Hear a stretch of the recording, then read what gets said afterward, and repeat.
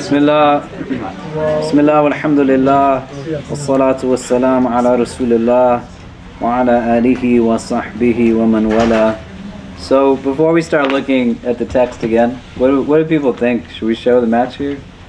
Tomorrow is Argentina and Croatia, but Wednesday is Morocco and France, right? So maybe Morocco, France, Yeah. right? No, yes. Yeah, yeah. Do people sure. come?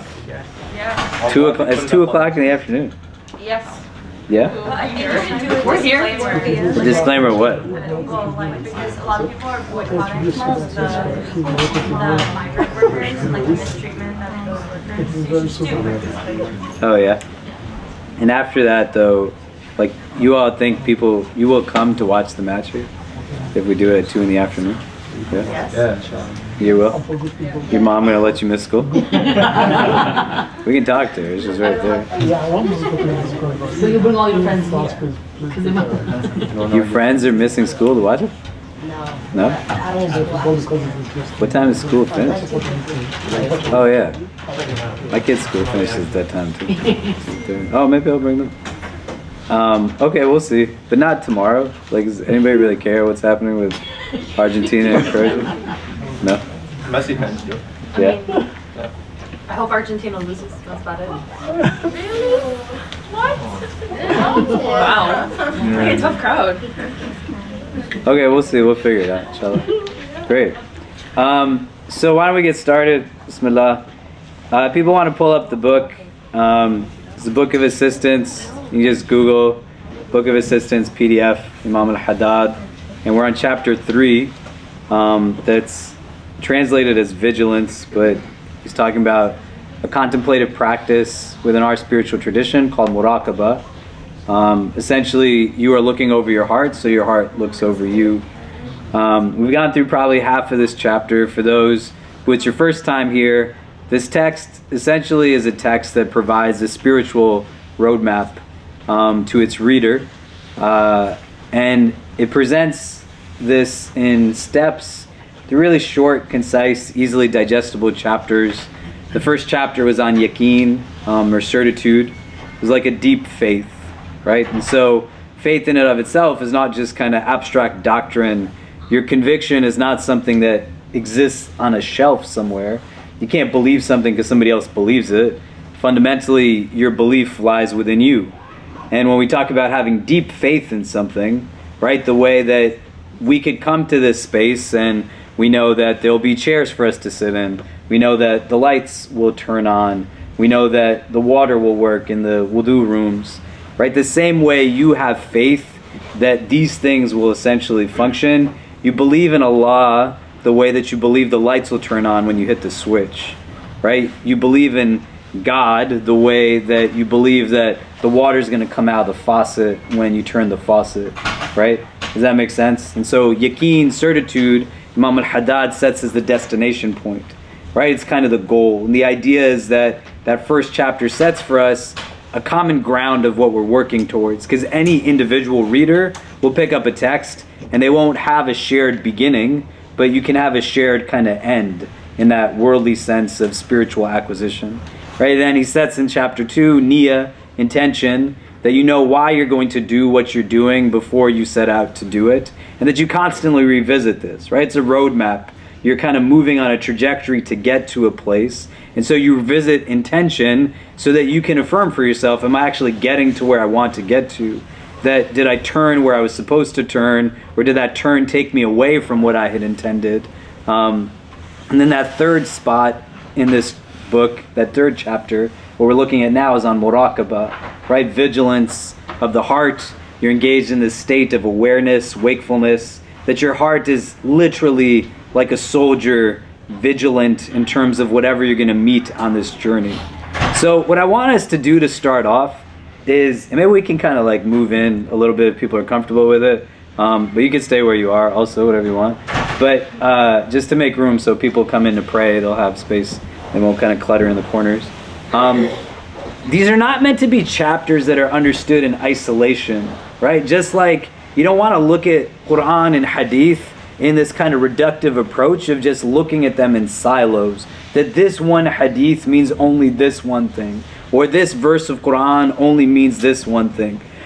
Because the idea is to be able to deepen relationship with text. The companions of the Prophet, sallallahu wasallam, all of them didn't memorize the whole Quran. And you had luminaries of our tradition who, after the generation of the Sahaba came, and they would say that Surah Al Asr, for example, Imam Shafi says that if you were to just contemplate on that, that would be enough for you from the Quran. Right? The Surah Al Ikhlas, the Hadith says, is a third of the Quran. Right? There's so much that we find within even the verses that we have regular interaction with. There's a reason why 17 times a day you recite Surah Fatiha and you're not mandated to recite Surah Al Falaq or Surah Al Nas. It's not that there's not benefit in these things, but the constant revisiting of them as you go through different phases of life so you can see how they're now applicable and draw more meaning from it and deepen in a relationship with it. So, just on these three chapters that we've looked at so far, whether you were here for it or not, the first was on yaqeen, like deep faith certitude as a destination point. The second was on intention, niyyah. The third is on muraqabah, you know, this idea that you're mindful of what you're carrying with you, right? The luggage you come with, what you're giving abode in your heart. I want you to turn to the people next to you and talk about what is the relationship between these three things. Right now, how we understand these things conceptually separately. Because uh, for us, the challenge that many Muslims have today is not that it's hard to acquire information. You can literally go online right now and type in any word you want and add the word Islam to it, and you'll get a ton of hits, articles, audio, video, podcasts that'll give you all kinds of information, and then you can learn it in a silo. But you want to think about how concepts relate to one another, right? Don't just know that like this kind of job is haram or this kind of food is halal, but how does yaqeen relate to like your worldly sustenance? How does a faith in the divine or the state of your heart, muraqabah, relate to other things that you deal with in the course of going to school, going to work, dealing with family that's tough, dealing with friends that are not really so kind, or people that are great, right? How do we take concepts and apply them to where we are? As a starting point, it's also about how do they relate to each other. So, why or how do these three topics have relevance to each other? Yakin, certitude, niyyah, intention, muraqabah, vigilance. What are some of the connecting points to it? And you can add in the fourth, which we're going to get to today. The fourth chapter is on the inner self and the outer self. It's a really short chapter, so we'll probably get through the whole thing. But how do these topics relate to one another in kind of a way that we can start to have a thread of interaction? Does that make sense? Right? Because, like, it's easy to pray, you can go up and down, but sometimes the physical prayer becomes devoid of a prayer of the heart. Or it becomes devoid of like who am i really praying to at the end of the day? But if you learn things separately from each other right you teach your kids to memorize quran without giving them an insight of like who sent down the quran in the first place. And all of us have the children that we were still living in us so many of us, if we were born into Islam, learned the words fard and haram before anybody taught us to celebrate God in our lives. Or you were taught to pray your sunnah prayers before you were taught whose sunnah you actually follow. In a meaningful way. Not just in terms of dates, of, you know, names of ancestors and these things. Not that those are not important things, but they're just regurgitated. Do you see what I mean? And it's how do these things all kind of connect to one another? And you start to think about it. So what's the connection between these chapters so far? Yakin, certitude, niyyah, intention, muraqabah, vigilance of the heart, the inner and outer self, which we'll get to. So if you could turn to the persons next to you, ideally in pairs, right? But try like no more than three so that everybody's getting to talk. And then we'll come back and discuss, and then we'll get through the rest of the, the chapter. So go ahead. And if you don't know the names of the people around you, introduce yourself first. and then kind of start. And if somebody's sitting next to you not talking to anybody, then just pull them into to your kind of group.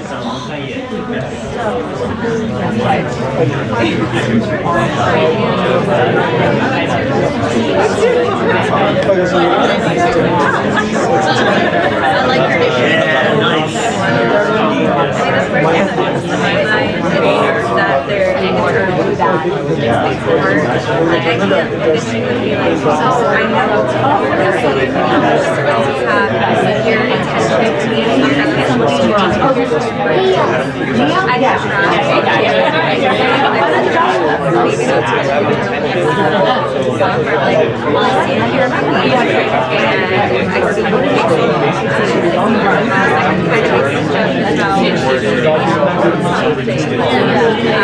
I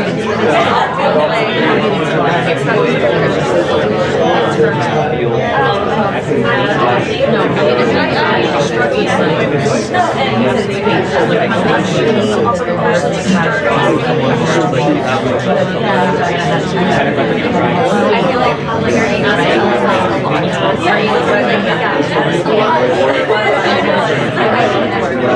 I know, so like myself,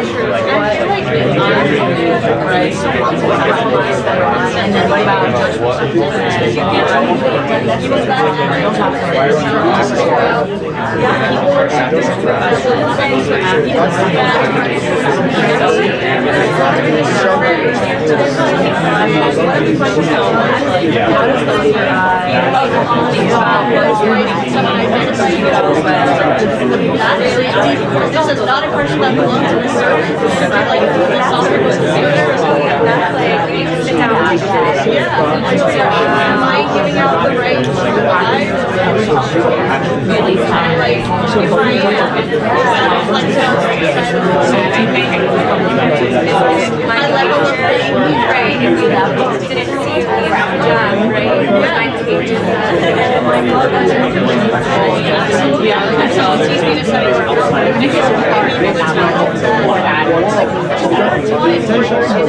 study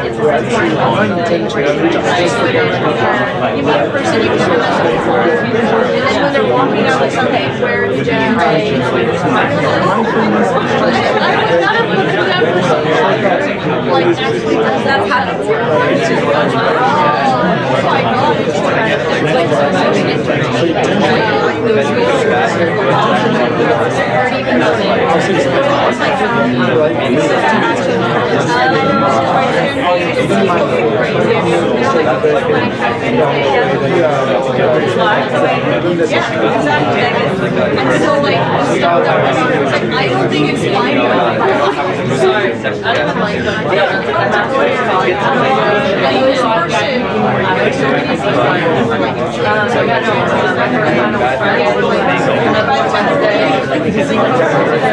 This is great.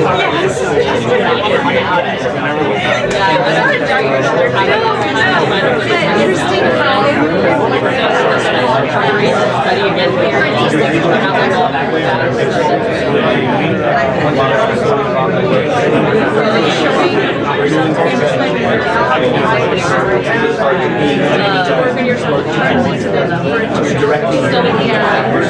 feel like so really internal not like internalized like takes over. It's hard. And I feel like yeah, I've been doing it for a long time. Make a conscious decision establish yourself as yeah, how I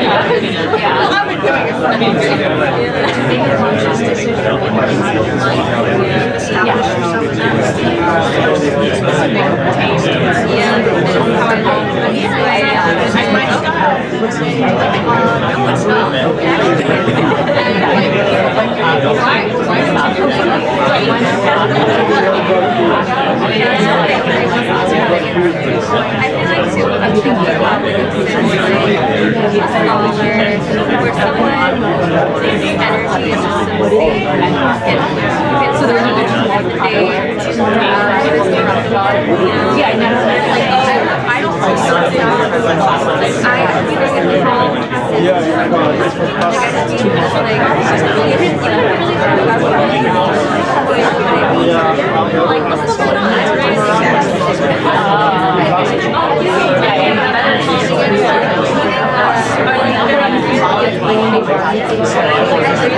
Okay. So let's come back. So what are what are some of the things that kind of connect these different topics to each other? Right? And they could be all together, like individually. How does yakin relate to nia? How does yakin relate to muraqabah? How does muraqabah relates to Nia, if in any ways, or all three? What did you discuss? What did you come up with? Who wants to start? Yeah. So my mom, Muraqaba is like. Hey, no, Mom. I, said my mom, I, was talking, I was talking to my mom about it. Uh, Muraqaba is like the purity of your heart, right? So it's like um, we were saying like the intention sort of comes from the purity of heart, and like you can sort of tell someone's like it's sort of vice versa. You can tell someone's intentions by their purity of heart, and you can tell how pure someone's heart is by like seeing what their intentions are. And then it also matched um, with the other one because they all go hand in hand with like like your heart and your intentions. Amazing. What do we think? Do we agree? Do we disagree? Or any other thoughts? Yeah. I think there's a little bit more. Like, as in, first, it, to, you want to like certainty is the goal, right? So then we start with intention and vigilance. So at first, you're gonna. It's like I think related to the book that you gave a couple weeks ago about like light and darkness in the heart. So at first, when it's like all black, you know, you you it's like another bad thing to you. But then once you become aware of it, you know, you kind of know it's probably bad, but like you know, you don't feel it's bad, but you still act that it's bad anyway, and eventually you get work to the point where it starts to feel bad, and you start filling it up with light. So then, therefore, that's that's vigilance. You become more and more conscious of what Allah would think is good and what what He would think is bad, and you begin to fix your intentions towards that, and also their by proxy your actions as well. Yeah, mashallah. Yeah, man. Go I think that you have like an intention to like do something and then it connects with like the faith like you have have the intention to turn on the light switch and you have faith that it's gonna like work like I don't know Yeah, that's great.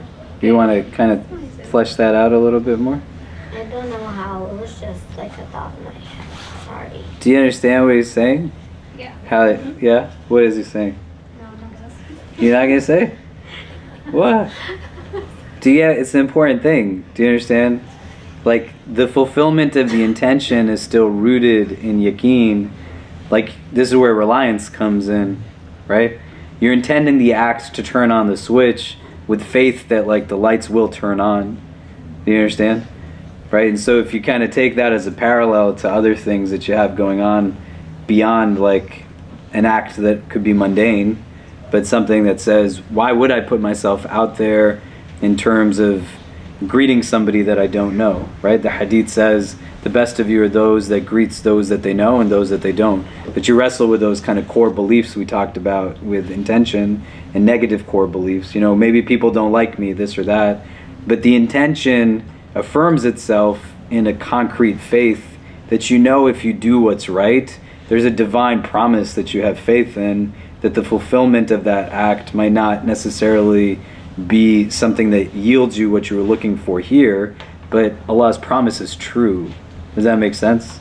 So there's like a, a sense of faith in the consequence of the act that's intended, and the two go hand in hand. Is that what you were saying? Yeah, right? Amazing. And do you, do you get why it's important? You know, because that's where the mindfulness aspect, the muraqabah, comes in. That you're in a place where you just push out the clutter. You know, you push out the distractions and you kind of hone in on, like, why am I doing what I'm doing? And what's really kind of the fundamental thing that I have a deep conviction in at the consequence of this, you know? So, like, why am I going to not go to Jummah? And when I'm intending the act of missing Jummah, what is it telling me about like what I actually have conviction in? You see? Is that you get what I mean? But when I intend it and I know fundamentally that like my professor is gonna make a face at me you know, why did you ask for extended time on an exam or like blah, blah, blah, or my boss is to say, you know, do you really need to go do this every Friday at this time or whatever else? My intention is rooted in what I have yakin in, right? I have a niyyah that affirms like what I actually have faith in at the end of the day. And you go back with vigilance to look and say, if I'm not doing it, what am I really putting my conviction in as a telling of myself? Do you, do you get what I mean? Does that make sense? Right? Yeah? What else? What else are con- connections here? That was really good. Thank you. What else comes up? Somebody else had their hand raised. Any other connection points? Yes, no? Right now, a 10 year old and a 12 year old are controlling the room. over Yeah, go ahead. Um, we also talked about how like they're all interconnected and how the lack of one might result in the lack of the other. And then more specifically how I think Mariama brought up it's kind of like um like a train, like you kind of have to have each in order to have like a complete spirit. Yeah.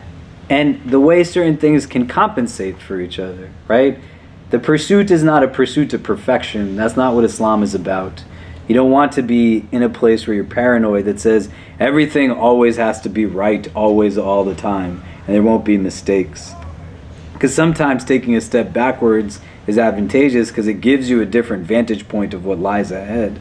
You know, and it allows for you to see things with a different kind of prism and a different sense of awareness and consciousness. Do you know what I mean? But these things can all bear impact on each other, and their absence serves as a mode of impact, as well as like their presence can so serve as a mode of enhancement. You know, so if I didn't have a terminology or like language around things, if I didn't know like what the word yakin was, or no one ever said to me like live with kind of deep intentionality before. It wasn't a concept that I ever interjected into just my lexicon. Then how can I do something with something that I don't even know is something that exists? Do you see? Because it's not like, oh, here's this thing that is a chair, and if I didn't like ever see it, if you never saw one of these things before, we constantly have people that email us, DM us on social media. What are these things that you're sitting on on the ground? I want them in my house, right? They're called backjacks. If you want one, just Google backjack. That's what it is. It's a backjack. But if you didn't ever see a backjack before, you could somehow still figure out what it is, right? And you could only use it in a few different ways, and fundamentally, you'd eventually figure out how to use it. This can be used in more than one way, by the way, right? So the way you all are sitting on it is one way to do it. If you flip it the other way, you can actually lie down on it, which is pretty crazy if you think about it. Yeah, go for it, go nuts. You know? and so when you're when you're when you're with that though, like you can still figure it out. You can't unconsciously figure out a concept like intention or a concept like yaqeen or a concept like muraqabah in that way. Do you see?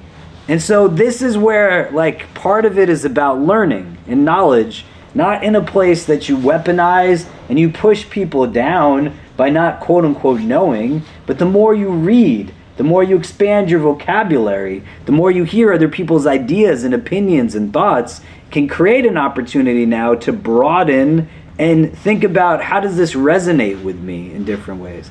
Do you get what I'm saying?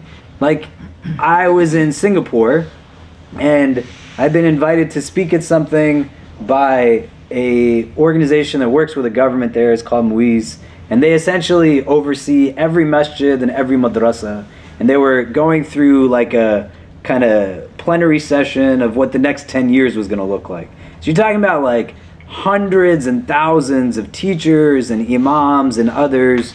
And there was people that came up to me afterwards who they were talking to me about things like depression, anxiety, self-harm, abuse, and they said we don't know what to do because they don't talk about this here. And they said we look westward to people from your country where religious scholars are talking about things like substance abuse. They are talking about things like that we struggle with, mental health, emotional wellness, etc. But some of them said to me, we didn't even know that these were things until we started to hear people talk about them. Do you understand? And your religious growth cannot be something that starts and ends with a Sunday school kind of trivia knowledge of Islam. At every level and every juncture of your growth, there is a need to be able to revisit, renew, as well as acquire new information and understanding for your own peace of mind and inward stability so that you can start putting names to things that you have felt but didn't know how to validate. And the same way that goes to like your emotional self, your spiritual self needs to be in a place where it has access to language and practice and other things that it's yearning for, but you can't just somehow organically develop those ideas on your own. Do you, you see what I mean? And that's like what the Quran is there for. So if you don't read it, you're not going to be able to take from it what it says. Right? That's what the sunnah is there for. It's not so you can walk into a room and be like, oh my God, you're dressed like this, and you listen to that, and how could you eat this, and why would you talk to this person? There's nowhere in the hadith where the Prophet does that to people. When he literally just walks into a mass gathering and starts sizing up how everybody is living in contradiction to his way of life. Right? The ihsan the Prophet has, because he lives all these concepts, render now for him a prism and perspective of worldview that sees what's inherently good in others, empowers them through that. He doesn't need to fill himself up in a way that elevates himself by denigrating others. And then he leaves behind this example so that you have access to these things. Because in a chaotic world like this, it's not that much different from what the Meccan society was that these people were living in. Also, they had a lot of the same challenges, a lot of the same issues, right? But then when you're 20, you're 30, you're 40, you're 50, you have marriages not working out, family doesn't let you do certain things, jobs don't work out, there's other stresses. You can't then just go back to when you were nine years old and someone had you memorize a list of names that you never learned like what to do anything with. How does this apply back to my life? Do you see what I mean? Does that make sense? And how do these things relate to each other, right? Does that make sense?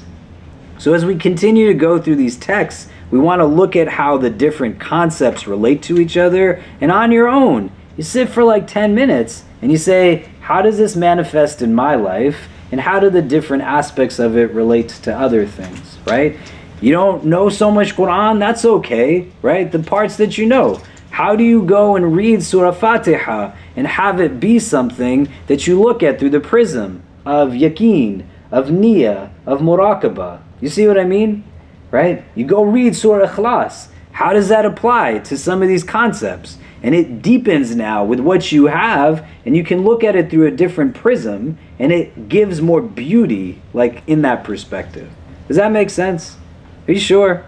Yeah. Can somebody who's nodding tell me what I'm saying so that I actually know that you're not just nodding to get me to shut up? You're nodding really hard. What am I saying? like to not think about where my stand, spiritual standing is when it comes to muraqabah or niyyah, rather to try to implement all of these with what knowledge I have right now and to keep proceeding with what I have. Yeah. What else? Anything else come to mind? Yeah. So like, don't focus on those very, I would say, you know, what you think to be the standard indicators of practicing faith, like just pure memorization, pure like uh, uh, rituals, but like think holistically, think like not. We what were we saying? We were saying um, not just self-reflection, but spiritual reflection of like about how all these things interconnect and like think about like don't get focused on the tree, but think about the forest. Mm-hmm. Yeah. Amazing. Wow. It always feels nice when people are listening to you. I have to say. I also felt good that you remembered something from Jummah from weeks ago. Because when you said that, I was like, what did I say? I remember about that. Alhamdulillah. Okay. Why don't we go to the book? Um, and so we're at chapter 3. We were looking at um, the chapter on vigilance. And we had read the first couple of paragraphs. Uh, but why don't we just start from the beginning again? Because it's pretty short, just so we can kind of recap some of it, and then we'll get to the middle of the um, second page and kind of talk it out a little bit. Somebody want to start from the beginning? You must, oh my brothers. You want to read? Yeah, okay. Go for it. You must, O my brothers, be mindful of God in all your movements and times of stillness. At every moment, with every blink of the eye, with every thought, wish, or any other state. Feel his nearness to you. Know that he looks and is aware of you, that nothing that you conceal is hidden from him. Nothing that weighs so much as an atom is hidden from your Lord, whether on earth or in heaven. When you speak aloud, he knows your secret thought and that which is even more hidden. He is with you wherever you are, with his knowledge, awareness, and power. If you are of the righteous, he will guide, assist, and protect you. What? Yeah, you keep going. Have modesty before your Lord as you should. Make sure that he never sees you in a situation which he has forbidden you, and never misses you where he has commanded you to be. Worship him as if you saw him, for even if you do not see him, he sees you.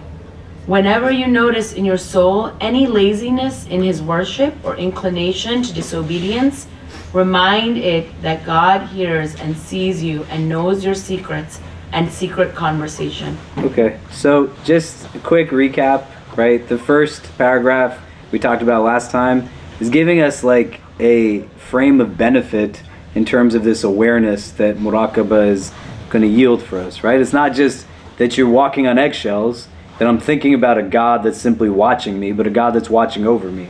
You know, I feel the presence of the divine. I recognize Allah's rahmah, His mercy. I recognize His mawadda, His love, right? I lec- recognize in a way that gives me hope and gives me strength.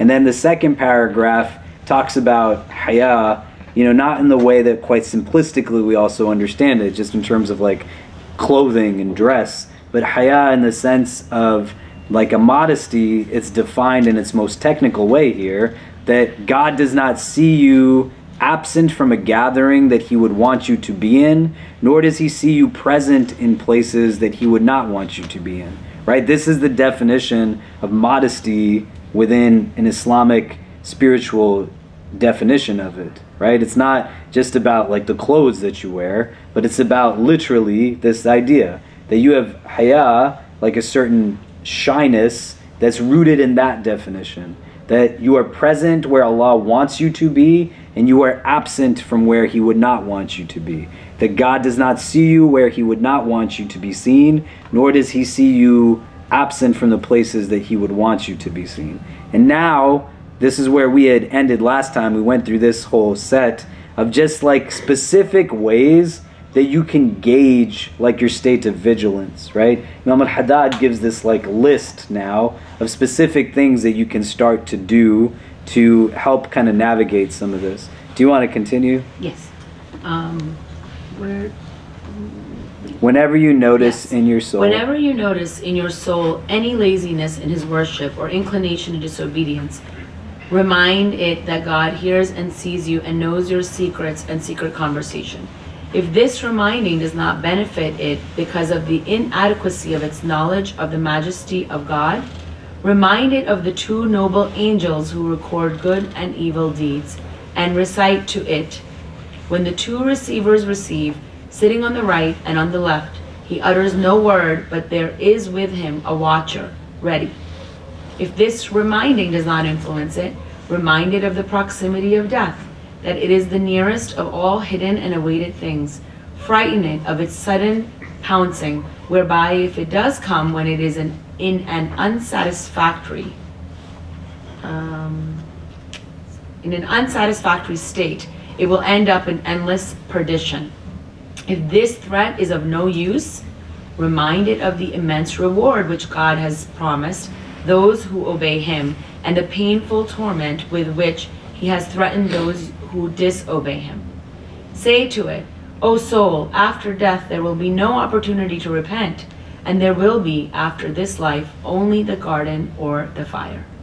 Choose, if you will, obedience, the consequence of which is triumph, contentment, immortality in vast gardens, and looking at the face of God, the generous, the beneficent, or else disobedience, the consequence of which is degradation, humiliation, mockery, deprivation, and imprisonment between layers of fire. Endeavor to cure your soul with such reminders when it neglects obedience and inclines to rebellion, for they are useful medicines for the heart's diseases. So, what is the point of all of these things? Like, what's the end result supposed to be doing in this prism of muraqabah? You understand the question? What What's it trying to do? Why are you doing these things? The angels, death, reward. Like, why are you reminding yourself of these things? Yeah. Cure your soul. Okay, but like, what is it supposed to then yield for you? How does this relate to muraqabah?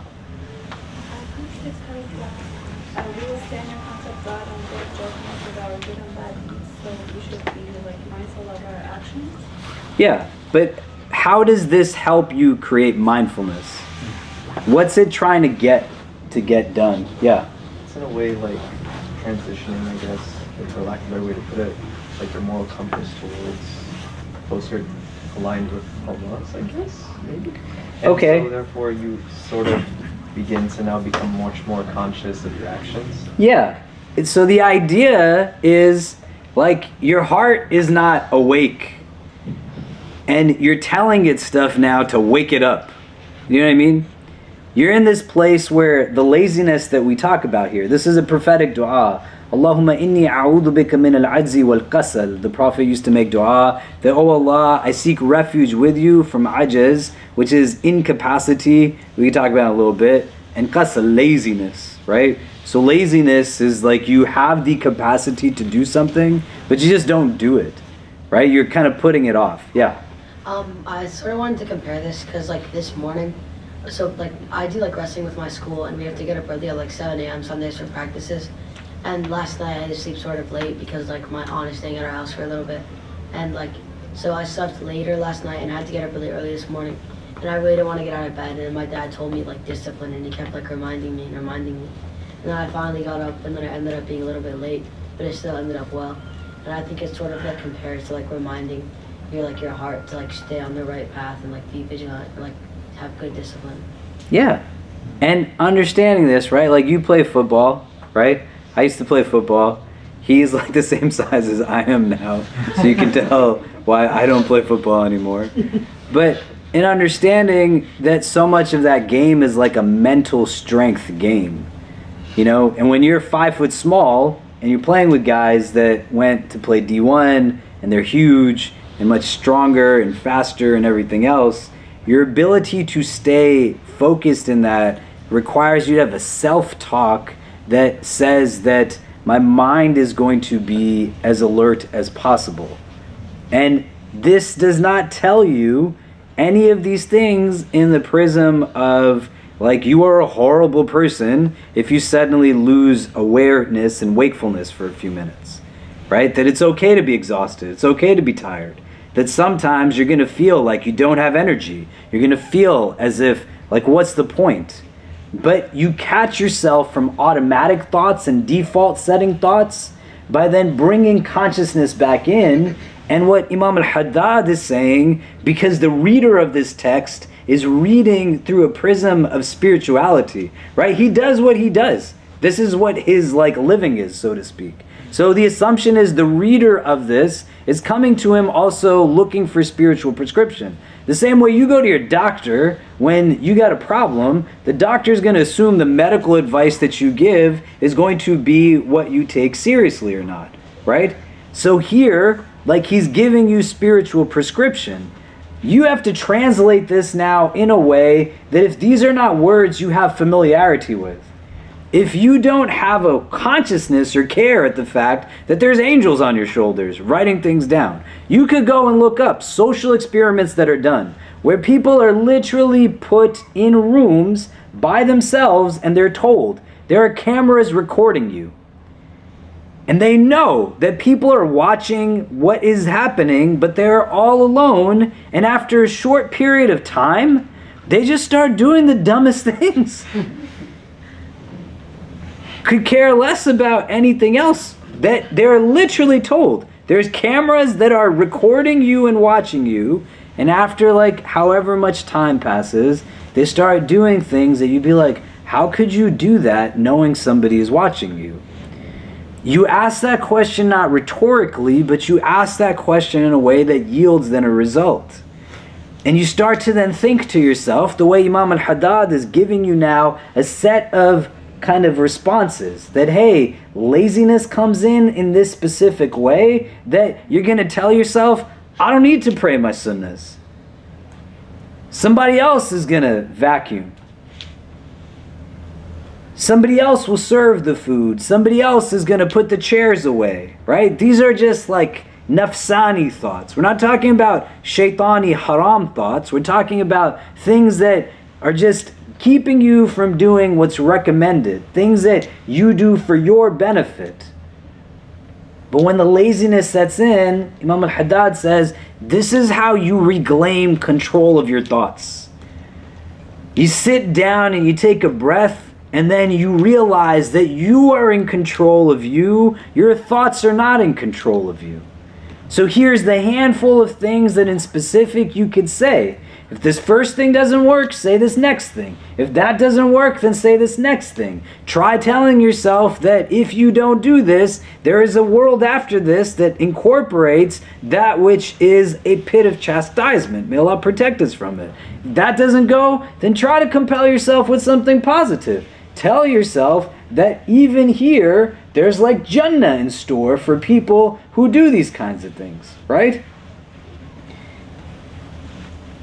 But you figure for yourself too, in this language, what's going to get you to be in a place that has the ability to get your heart back in a state where it's on top and it's awake.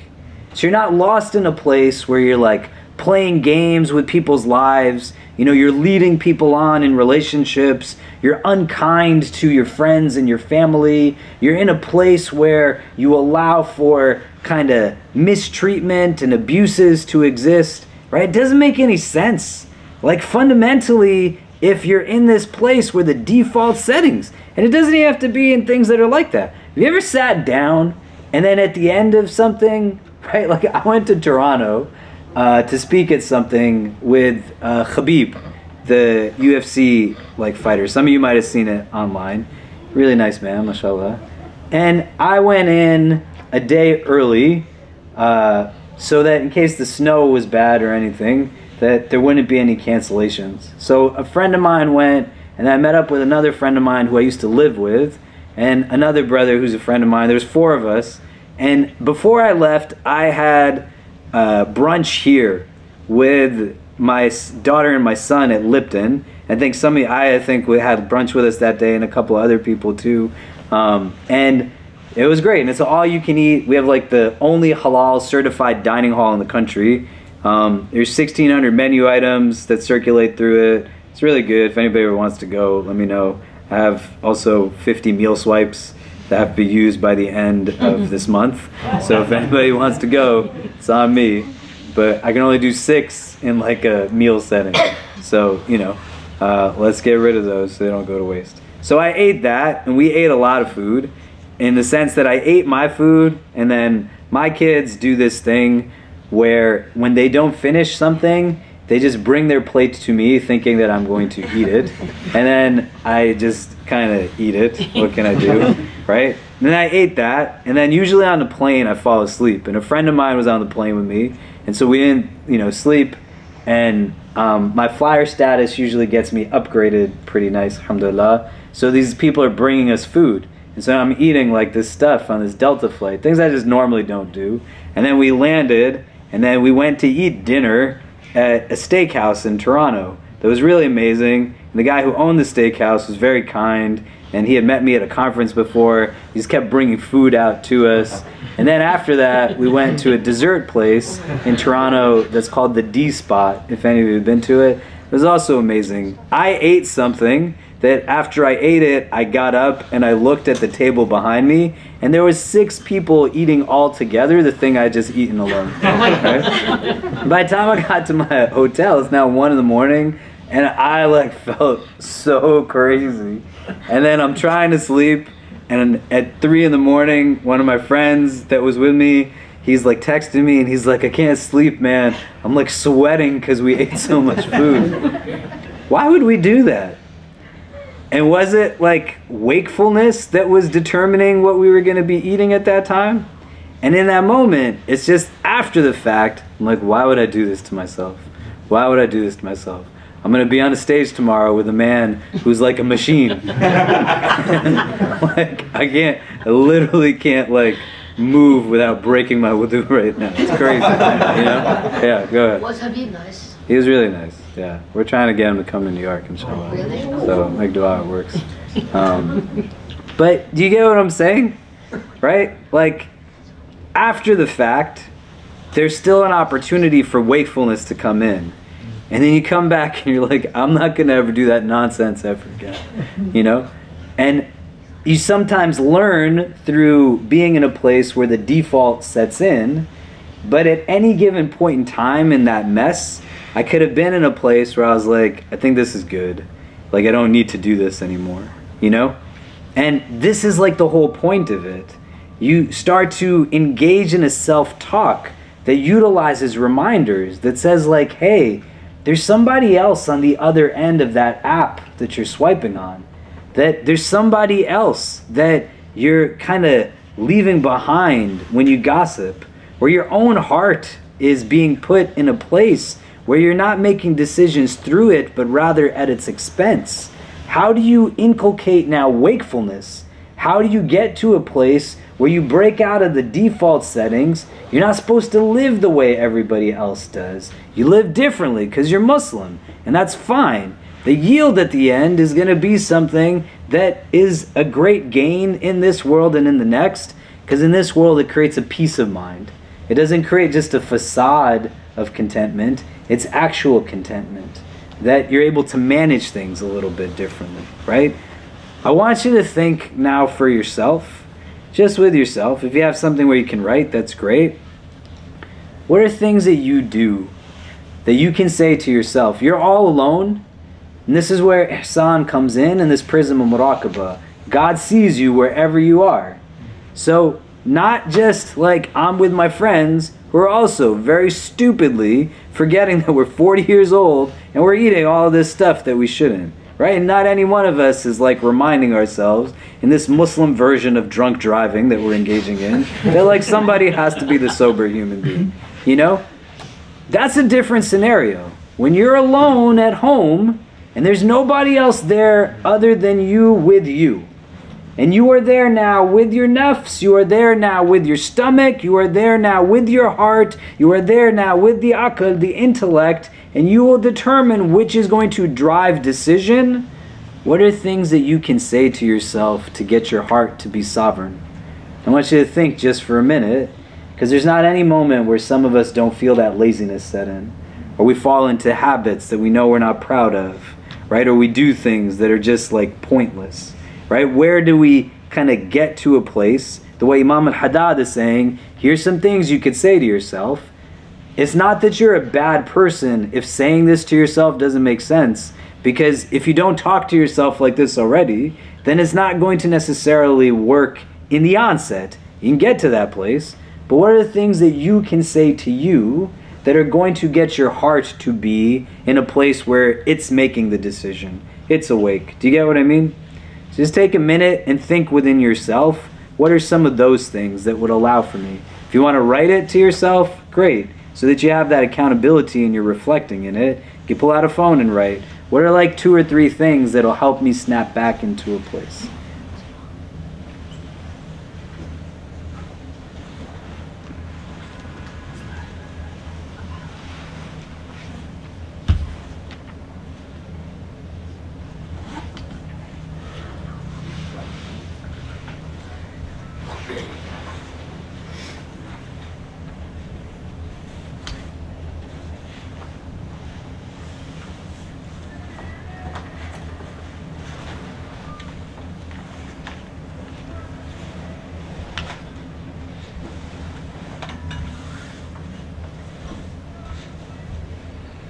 And as you're thinking about that, I want you to think about it now.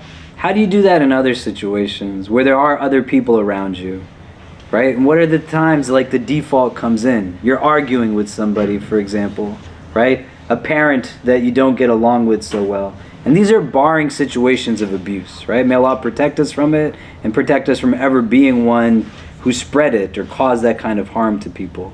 You know, but argumentation arises, right? Emotions escalate things come up, right? Bilal radiallahu an and Abu Dhar radiallahu an, they're arguing back and forth and back and forth until the emotions escalate to a place and Abu Dhar calls Bilal the son of a black woman in a derogatory way.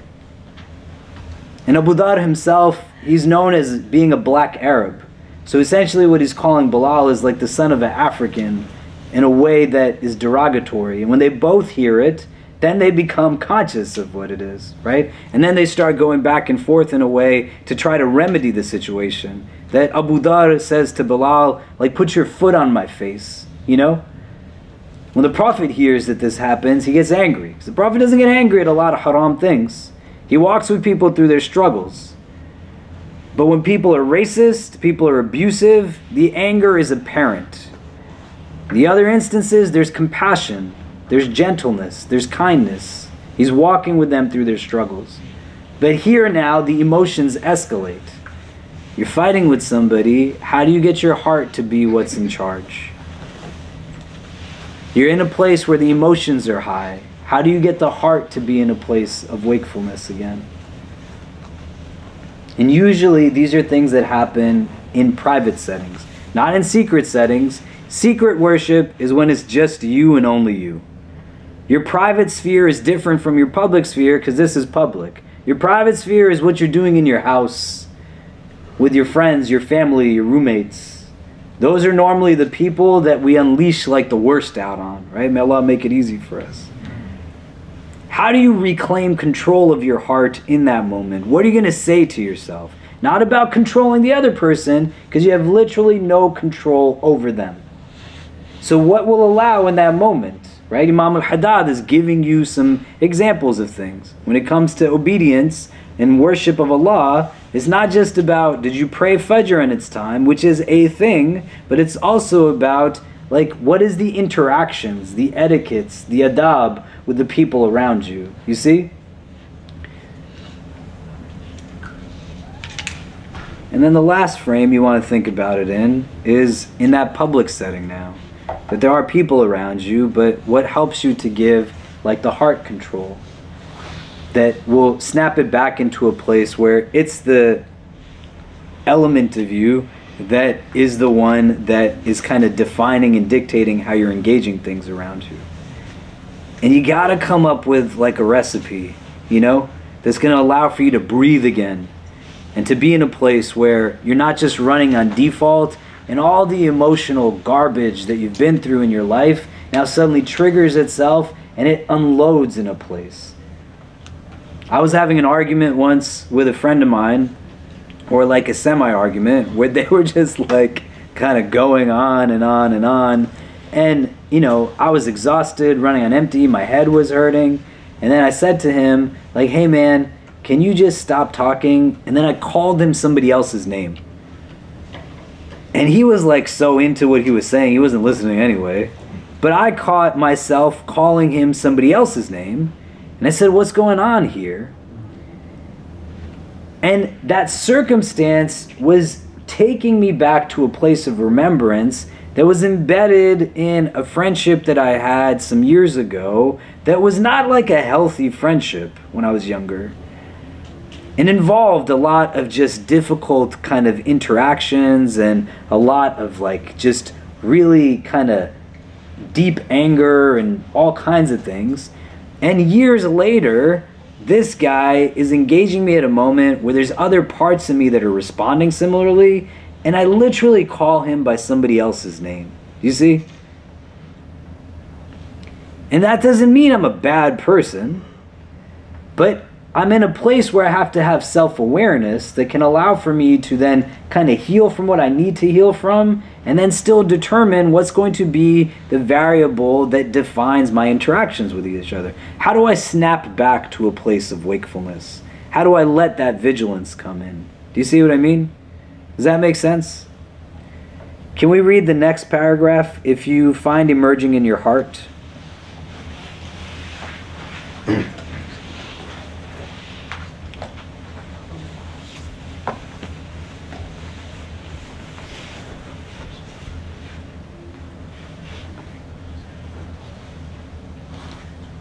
Anybody want to read? Yeah, go ahead. If you find emerging in your heart, when you call to mind the fact that God observes you, a shyness that prevents you from disobeying Him and drives you to exert yourself in obeying Him, you are in possession of something of the realities of vigilance, muraqabah. Great. So, this is where you catch yourself, right? Obedience and disobedience are also languages that we don't necessarily use so much, other than when we're now retreating to like a childlike state and we think about punishment from parental figures or things to that extent. This is going to be healthy based off of who you conceptualize God to be. And if you're in a place where you've never thought about who is Allah to me, then you got to start thinking about that now. And what these texts and other texts and the Quran itself tells us is to know Allah through how He tells you who He is.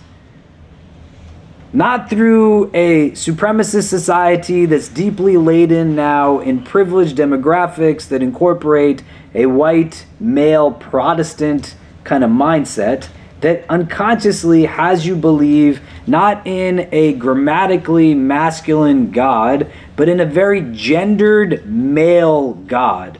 That then also you believe is an angry God, because growing up, everybody always told you why what you did was haram. Or that when you actually did haram things, you didn't really know how to deal with it, and you felt guilty, and it made you hurt inside, and you had to hide things. Or that when they were found out, then you also were just embarrassed, because people would tell you, here's all the things wrong with you, as opposed to ever telling you what was right with you.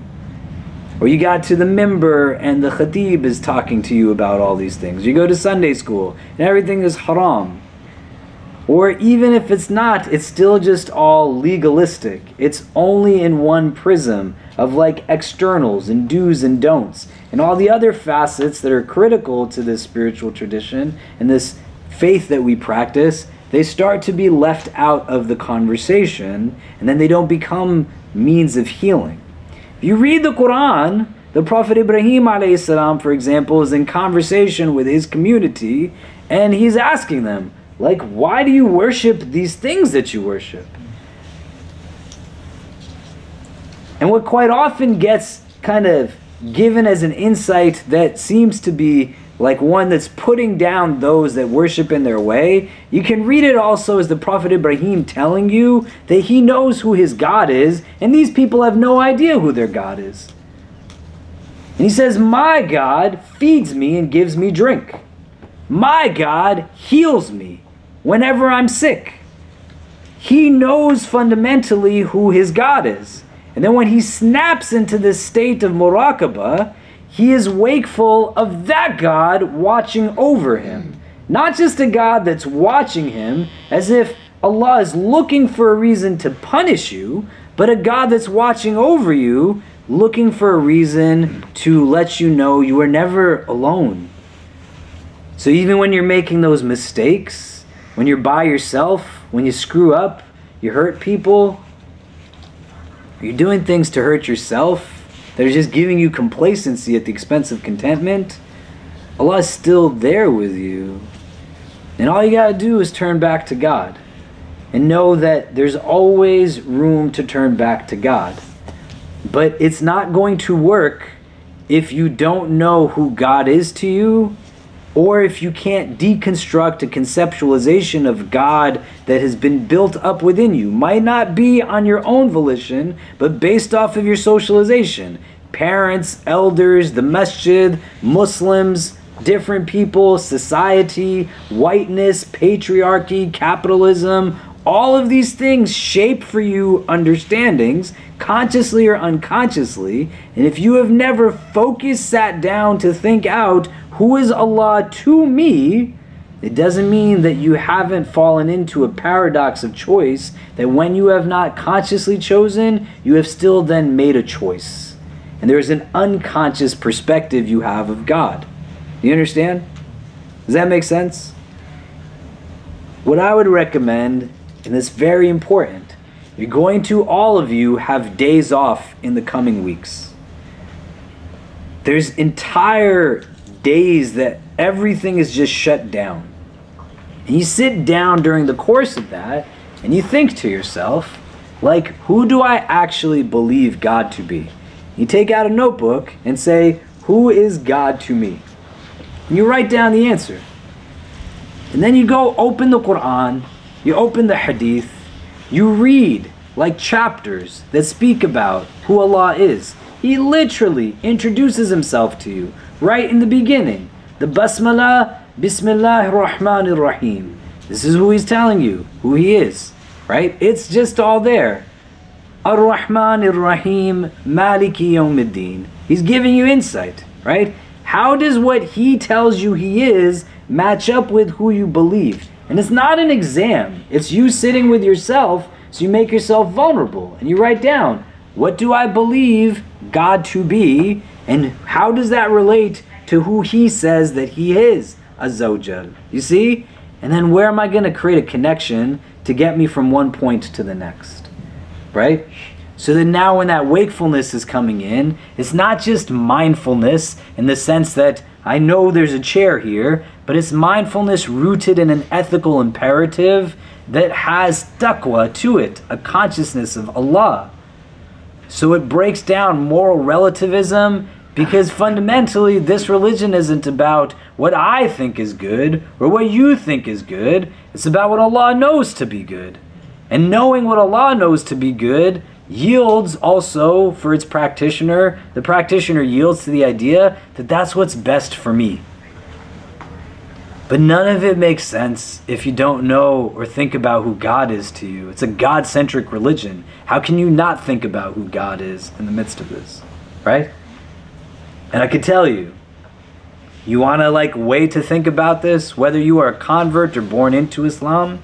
If somebody converted here tomorrow and you sat down, you want a different way to do the exercise? You write, instead of the prompt of who is Allah to me, write down, if a convert came to ask me to teach them Islam, what would I tell them?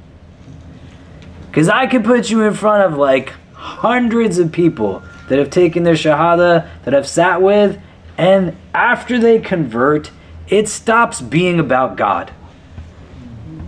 And they're in a place where what keeps them from becoming Muslim are like specifics that are rooted more in culturally hegemonic attitude towards religion or like particular things that have really nothing to do with the beauty of our religion fundamentally. But as an exercise, I want you to think about it, right? If somebody came and converted to this beautiful religion and they sat down with you and they said, Teach me what Islam is, what would you teach them? Because you can't give somebody something that you don't have to begin with. Would you give them anxiety around religion? Would you tell them that it's okay for you to miss these rituals and obligations? Would you tell them, like, don't have a dog, go buy a lota, like, only eat this? Is that like what religion is as a starting point?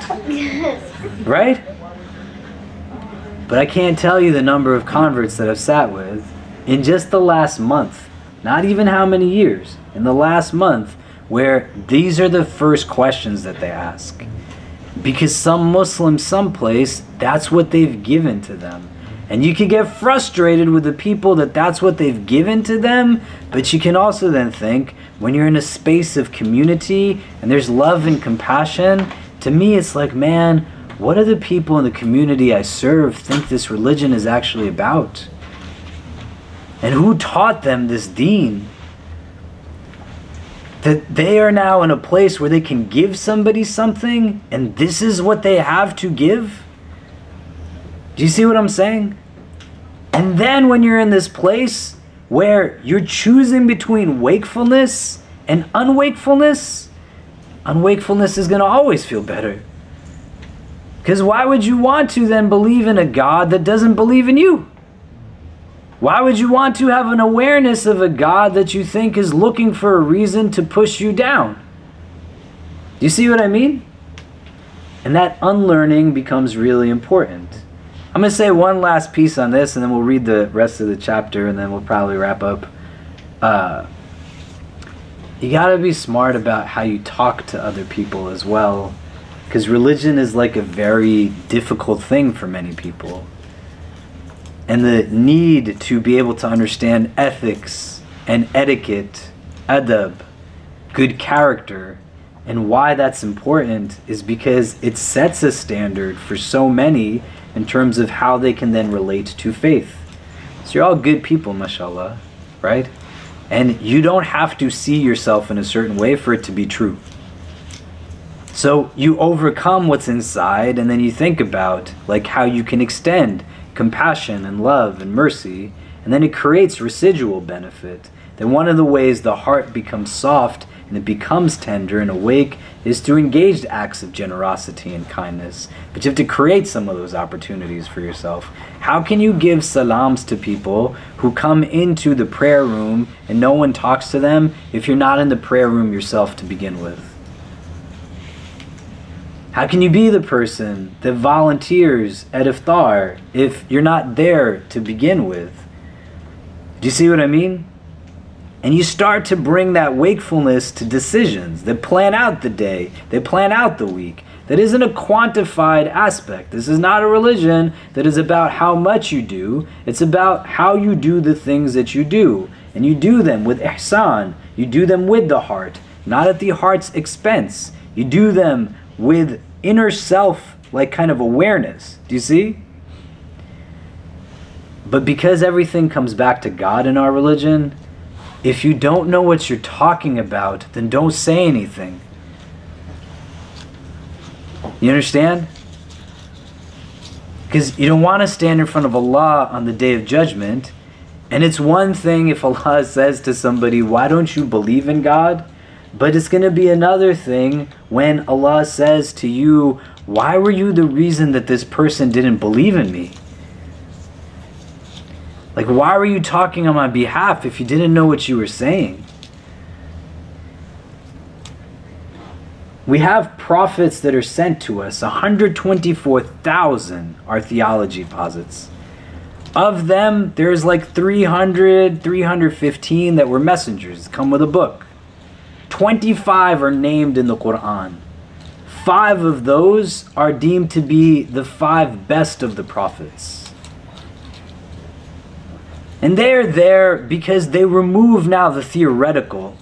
They're exemplars, they're role models, but they move out like what is subjective to what is concrete. You can't understand the Quran without the Sirah, and if you try to, this is where you create all kinds of foolish notions that somehow validate and justify mistreatment of others. And so, over the course of the holidays, just sit down and you're in a place where it's okay to rest, it's okay to breathe, even if the world tells you you have to constantly going and moving and doing. No, you don't. Like you just simply you don't. It's okay for you to take some time, just even 5, 10, 20 minutes in a day, that you're just able to rest and disconnect from everything. You think about who is Allah to you? Who do you believe God to be? You take some time, you talk to each other, you reach out. You don't have resources? Tell me. I'll send you some stuff you can read and look at. What does Islam say? Who is Allah? What does the Quran say? What does the Hadith say? And then you compare the two. You think, where does the disconnect come in, if anything? When you can get to a place where you have that concrete belief, a yaqeen in a God that believes in you and wants just what's best for you, then you're going to want to be like in a state of wakefulness, not in a state where you're like kind of walking around slumbering. You see what I mean?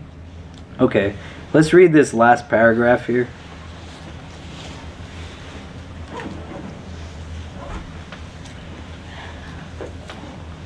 Who wants to read it? Go ahead. Know that vigilance is one of the most noble stations, high positions, and lofty degrees. Station of excellence, ihsan, indicated in the Prophet saying, saying, Excellence is to worship God as if you saw Him, for if you do not see Him, He sees you.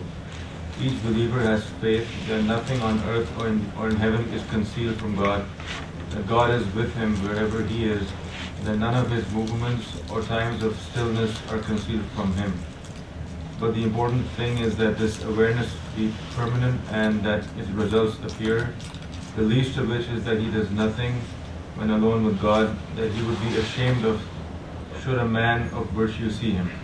This is rare and it eventually leads to that which is rarer still, whereby the servant is totally immersed in God, annihilated in Him, and thus rendered unaware of all else, absent from creation through his contemplation of the true King, having arrived at a secure seat in the presence of an able sovereign.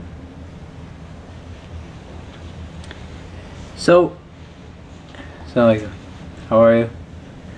Uh, it's a it's a lofty station. It's not easy, right? Meaning like it's something you aspire towards, right? You gotta have self love and self forgiveness, and this stems from recognizing again like who is Allah.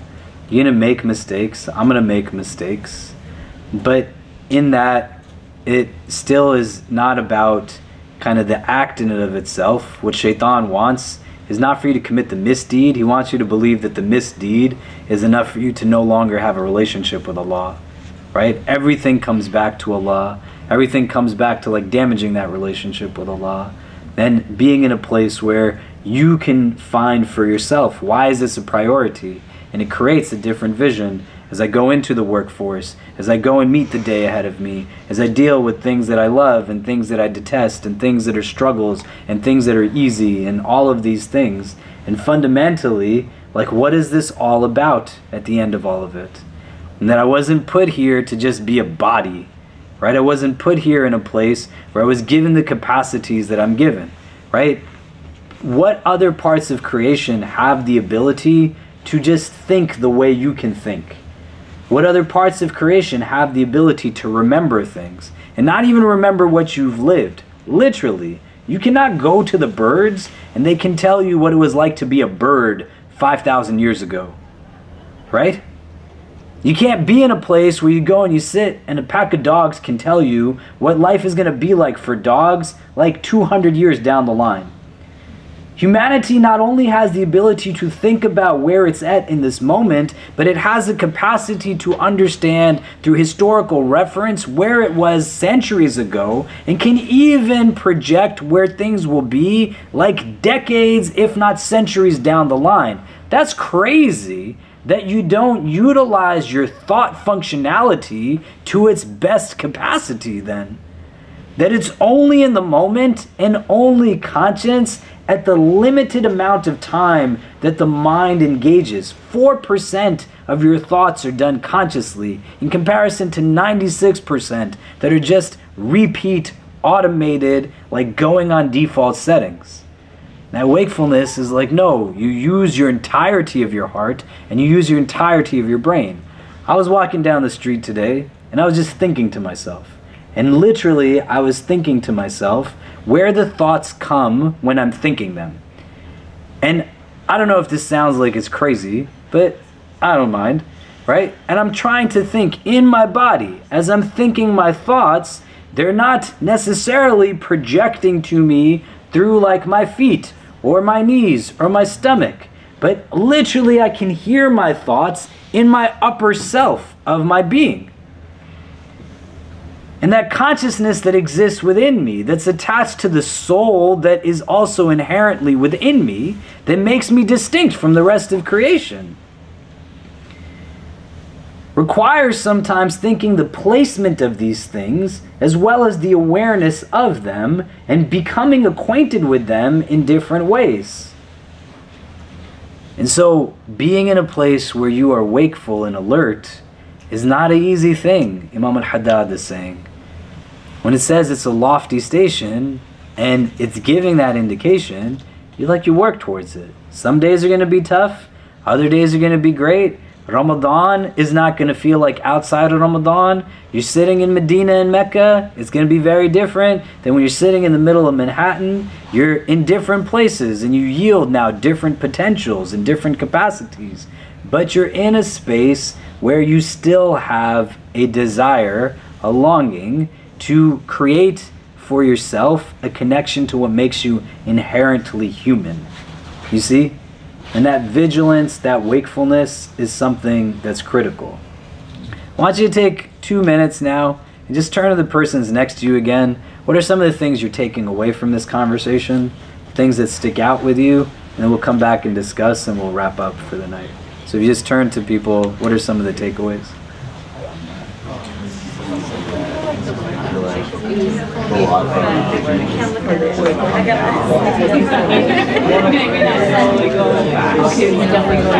But I think I started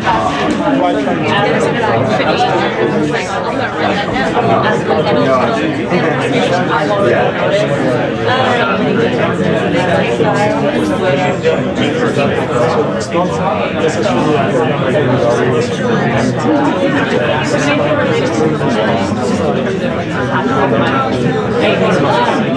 picking like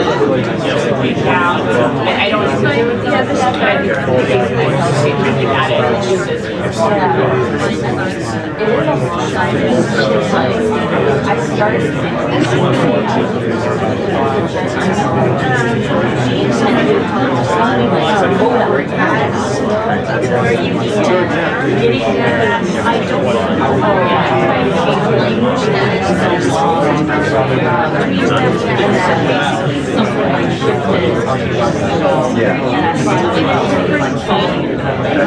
It's like very new, but I can't tell.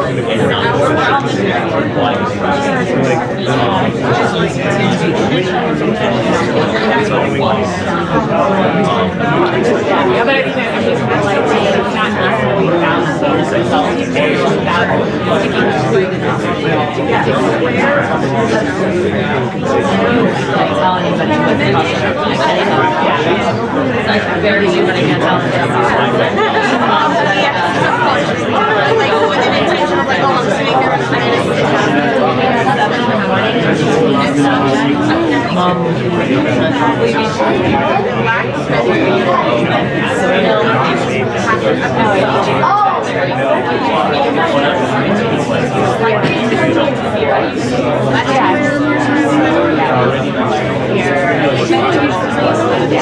Everybody's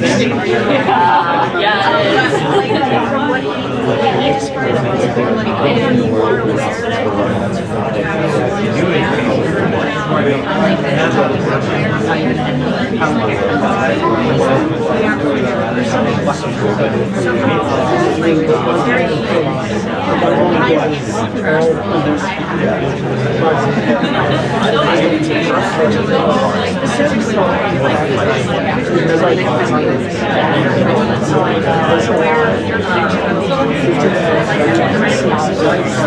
I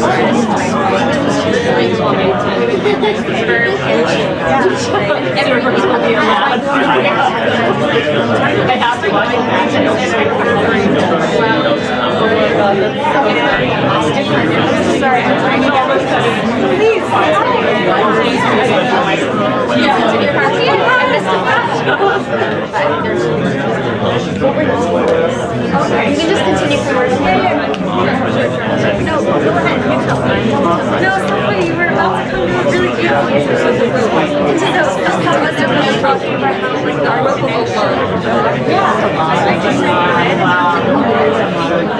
That's why it's so bad.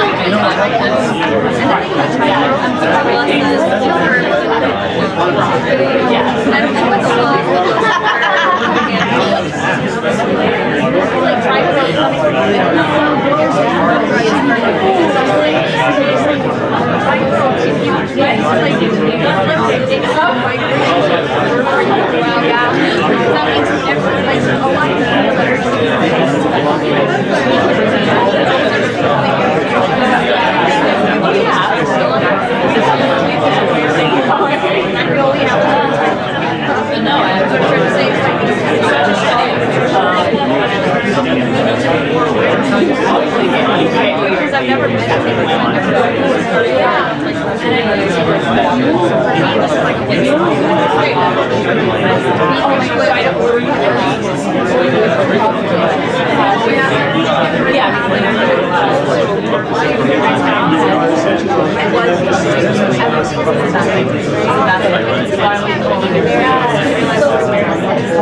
try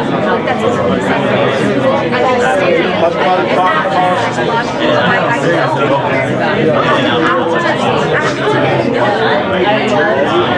I don't know what the like try to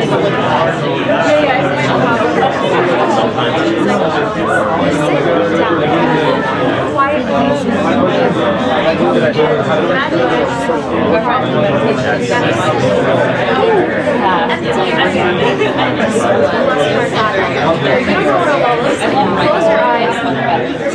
way that I imagine it is like I'm in this like white place. Nothing. Seeing like floating there, and you're like. Like a. And it's it's the weirdest like weird, but it's such a strange feeling internally because like that is like I know that is the epitome of my like meditation I guess. It's like you do it for like five minutes a day, just alone and quiet and nothing there. Just literally imagine, feel like that connection. For me, like when I close my eyes, it's like a like a light. It's like in my head, I'm like a next and it's like. It's amazing. It's like one of my favorite movies. But it doesn't feel like that all the time. Yeah, and like a lot of people say don't close your eyes when you pray. For me, the only way like I feel that same like connection is when I close my eyes. Okay. Like, So, what are some of the things we're taking away from today? What are things that you're taking away from today's conversation? Yeah. Um, so I journal a lot about like everyday life and professional work. What I take for sure is um, to journal more about my So I think the question that you asked about who's God for me is something that I used to ask myself when I was nine years old, ten years old, maybe the you know 12 teenager years, not at all. And that's for sure something I would take with me. Um, and one thing as well is um, explaining my religion to others. And I think what is also important is not only explaining it, but living it. So, um, yeah, especially like during Ramadan, how I behave to non-Muslims as well, because I realize sometimes I'm quite, I wouldn't say rude, but I don't like it when people ask me all the time, so no, no water and everything, and then I started really, like, the past couple of years to be, you know, quiet enough to cooperate, and I'm like, you should know that, but to remind ourselves of like how the Prophet behaved, or what God, um, that God is seeing us and Yeah, in Surah Al-Furqan, there's a verse, وَعِبَادُ الرَّحْمَنِ الَّذِينَ يَمْشُونَ عَلَى الْأَرْضِ هَوْنًا That the Ibad rahman the servants of the merciful, they're the ones who walk on the earth with dignity and grace. وَإِذَا خَاطَبَهُمُ الْجَاهِلُونَ قَالُوا سَلَامًا And when those who are ignorant, right, and the Ida is like indicating it's going to happen, right? Then when the ignorant like speak to them, they respond with salam, right? They respond with peace, but it doesn't mean you have to put up with people's nonsense, right? You just kind of maintain composure at the end of the day. Do you know? What else? What are things we take away from today? Anything? Yeah. I mean, one of the things I was reflecting on as, as you're talking about wakefulness and mindfulness was, um, you know, sometimes we have this idea of like what wakefulness is or what it would look like, like, you know, like a lofty station and everything. And I when you mention, and you keep mentioning, and you, you mentioned this a lot, is like, you know, just be in the moment. And sometimes wakefulness starts here. So be something as simple as, um, like saying salam to like people in this room, like being present with them, right? Acknowledging their presence. So that's something the Prophet ﷺ always to do. Um, so I mean, just something like I was like, you know, like wakefulness doesn't have to be like it doesn't necessarily mean like you're necessarily like asleep. That you need to be waking up, but it's more like, well, how can I just um, amplify my consciousness in this moment? Uh, so it doesn't mean like I'm completely like oblivious or heedless, but it's just how can I just keep uh, activating those, uh, you know, my, my, my spirituality in that in, in every moment. Yeah, and we're different people, right? So if the goal is for me to extend salams to people I don't know, for some of us that could be very nerve wracking, you know? And so the wakefulness part comes not in the end result being achieved, but being able to ask questions like, what's getting in the way for me from achieving my my goal, right? And every goal has obstacles between you and its acquisition. And these are of two types, internal and external. And an external goal is, you know, I'm sorry I missed the halaqa, my flight got canceled, you know, on my way back from Chicago. I didn't come to your wedding, my train like, you know, broke down in the middle. It's literally something that exists outside of me. What we perceive quite often as external obstacles are actually internal obstacles, right? The fear, the anxiety, kind of the confusion, anything else that our bodies now serve as a means of signs as what's going on within us. You know, why am I so irritable? Like, why am I so exhausted? Why am I like so tired? Why am I this? Why am I that? But fundamentally, the goal, like the wakefulness, comes up in acknowledging what's really built up within me that's keeping me from doing some of these things. Do you know? What's keeping me from actively like getting done the things that I'd like to get done? And some of those are going to be easy, some of those are going to be really tough to navigate. But that's where it's like the process, and you're on this kind of, you know, journey individually with the blessing of like people around you that can support you when you get tired and you need to take a break. Other thoughts we're taking away? So we talked about like uh, how, how we verbalize um, right? And how does that look for each person? So for some of us, it looked more like looking at the aql, looking at how we use our intellect to um, to reflect on our current state. And for others, it's like it looks different, right? So um, you know, for some of us, it looked like using the aql, and then for some of us, it looked like using the heart um, and doing dhikr, right? As a as a means of muraqabah. So I think it's really interesting to just think about verbalizing muraqabah and vigilance. Yeah, and a spiritual like secret that isn't really that secret but is necessary is a lot of this is going to also be found through moments of silence, right? Because it's really easy to talk and then not do, right? And this is Quran, right? Lima taqulu ma taf'alun. That why do you say that which you don't do? The default in our kind of spiritual tradition is silence. مَنْ كَانَ يُؤْمِنُ بِاللَّهِ وَبِالْيَوْمِ الْآخِرِ فَلْيَقُلْ خَيْرًا أَوْ لِيَصْمُتْ that whosoever is habitually believing in Allah in the last day, let him speak good or be silent, right? Yasmut is like very key of a word because there's some narrations where it says yaskut instead of yasmut. Samt is essentially like you don't have the ability to talk in its most literal sense. And so it's saying unless you're going to speak good, then behave in such a way where you don't even have like the capacity to speak if you wanted to unless what's going to come out of your mouth is good, right? So it doesn't mean just speak good, but it also is emphasizing the need to not speak at all sometimes, to just listen and talk, right? In the sense that it's inward and you're just observing, you're paying attention, you're hearing things, and that can create like wakefulness, do you know? And you're like taking from like the environment around you. Do you see what I mean? You can't learn if you're not listening. And if you're the one that's talking all the time, then there's no way you're listening. You see what I'm saying? Right? Does that make sense? So getting comfortable with a notebook, right? Reviving like the ability to actually take a pen and put it to paper and to put your thoughts there. Creates accountability because a month later you can go back and read what you wrote as opposed to just think about what you were doing through the prism of where you're at a month like that's past as opposed to channeling who you were a month before accurately. The paper will now cause you to stay true to it. You see what i mean? Does that make sense? Um, you were going to say something?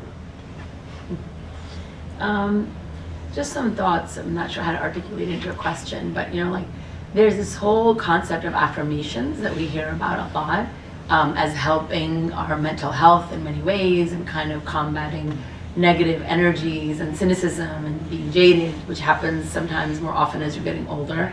Kind of see the glass half full, or you lose trust, or you lose faith in people, or in situations, or in you know whatever obstacles may come. So uh, I'm wondering how sort of it's half empty.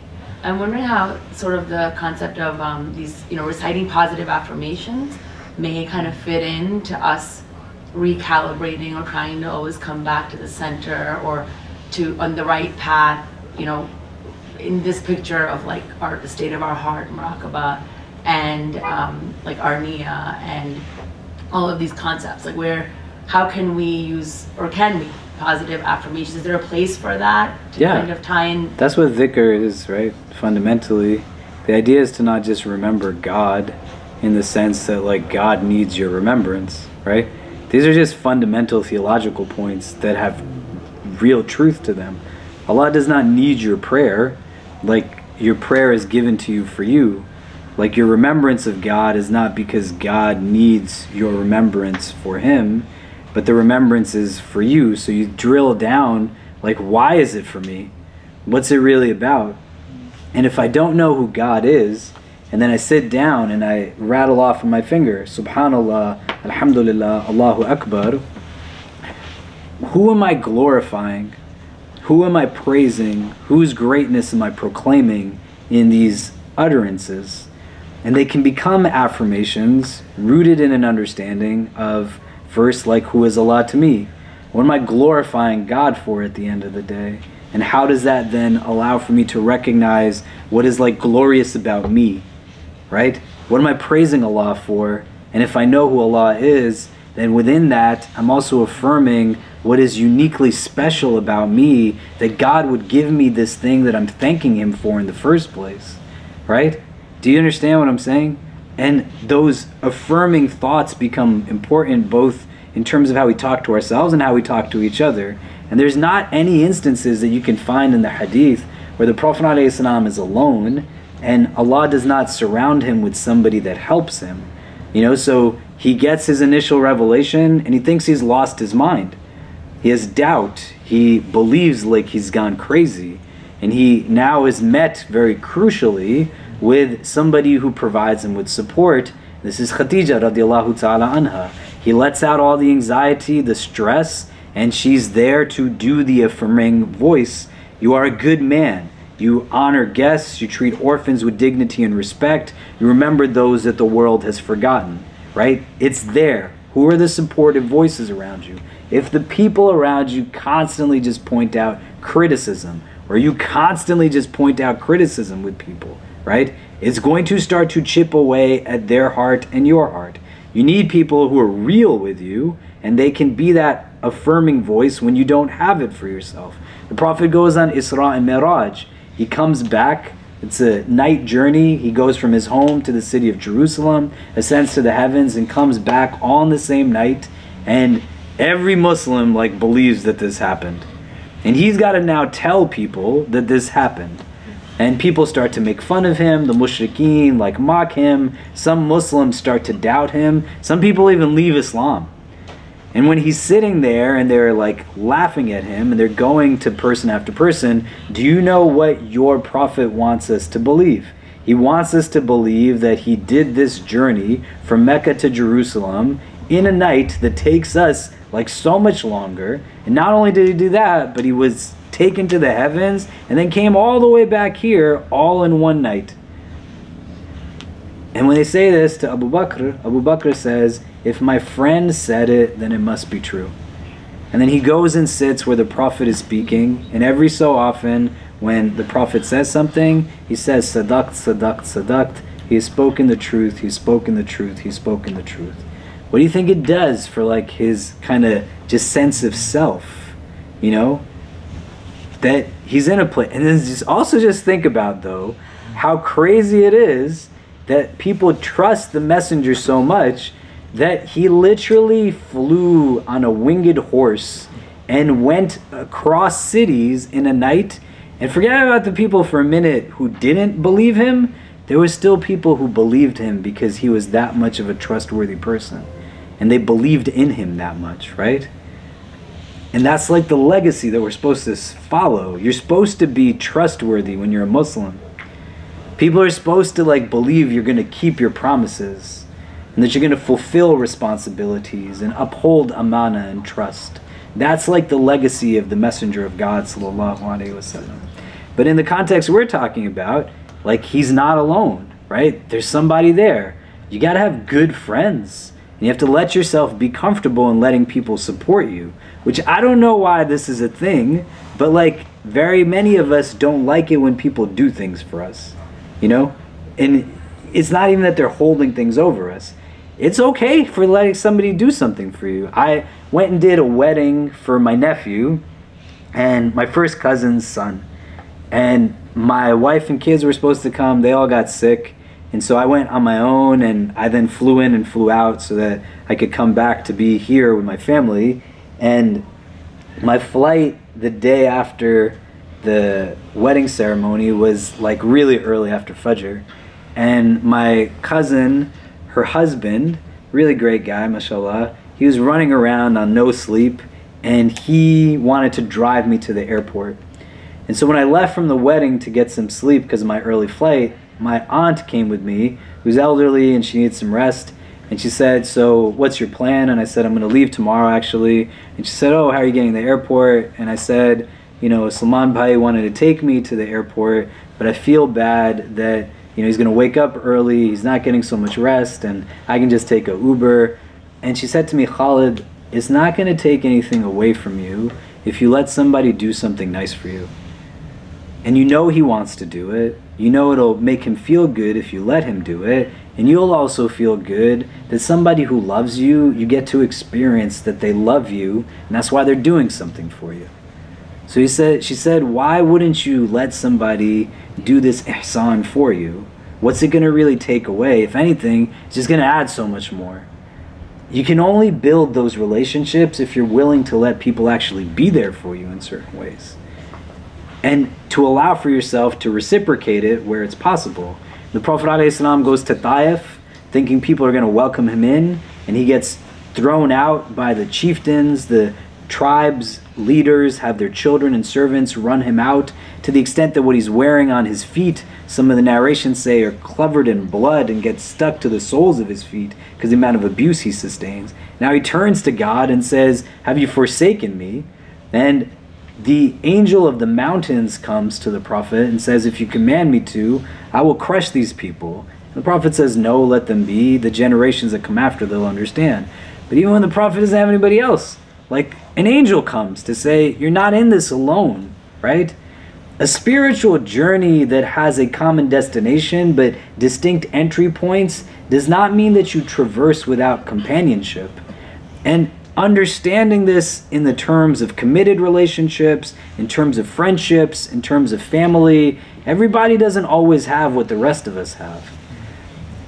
Some of us have to stop playing games in the relationship kind of arena where a society that teaches you to constantly be dissatisfied with what you have and then you keep pushing away real viable partners that could be good for you in this world and in the next that then at times when you're alone it's just not going to feel right right but also in terms of friends don't just hang out with the people that you're supposed to that come from same culture same race same class but people are going to be good for your heart, right? People whose hearts you know are going to be thoughtful of your heart. They're going to want to spend time with you, right? You all come and sit here, many of you, every Monday. Sometimes there's a little less people, sometimes there's twice as many. Most of you don't interact with the rest of you outside of this space. I went to a masjid in Boston the other day and gave Jum'ah there and then spoke at a dars in the evening two people took their shahada in front of me, like in like the few hours that I was there. And there was a young man who had taken his shahada previously who sent me a long email and he said, This is the first time I've ever felt like somebody actually spoke to me before in this masjid that I've been in. And all I did in their halaqa was kind of similar to what I did here. I didn't do it as often, but at the end, I had them just talk to each other. And some of these people prayed together for years and had never spoken to each other before and didn't learn anything about each other. How can you support somebody if you don't even know their name?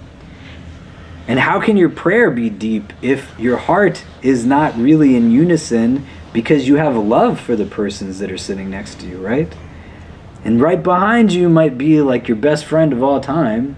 You just don't know because you're hanging out with the people you're supposed to hang out with right? You interact with the people that you are supposed to interact with, the ones that you can never bring home. Because what would my parents say if I was friends with this person or that person? Same foolish notion about like people not letting their kids marry people of different cultures or different races or different classes, like you limit yourself from those who could be supporters. And then when those people aren't around, like you do have positive self-talk. Shaitan's whispers come to your heart. He doesn't control your thoughts, but can get you to a place where you believe success is rooted in things that actually don't make you successful. And you can start to now see yourself for who you actually are by giving yourself these affirming thoughts. And when you can be in a place where your mental strength is rooted in that, you can achieve things that you couldn't ever think were actually possible because it's like an inward strength that comes in, right?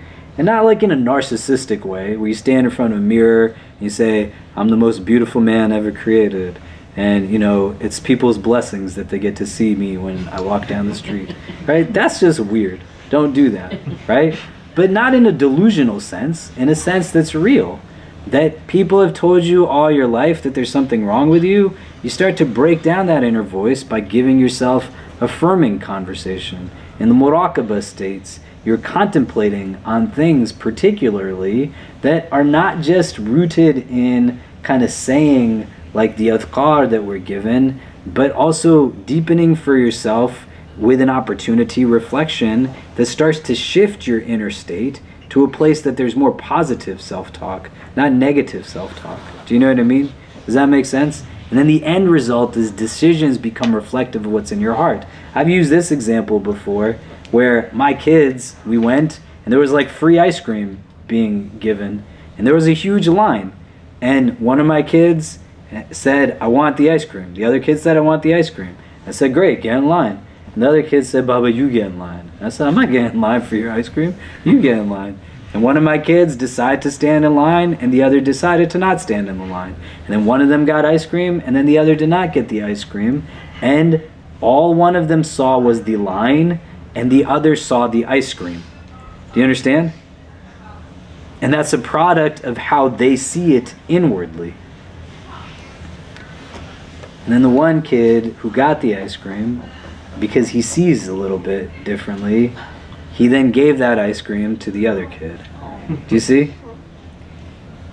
And then they both ended up getting some ice cream. By the end. but you get the point of the story, right? You don't want to miss out on it because all you see is the line. But you don't also want to hate yourself because you see the line. That's not going to work. You want to then ask yourself, why do I only see the line? Why am I not seeing what's at the end of the line? Do you get what I mean? Does that make sense? Okay.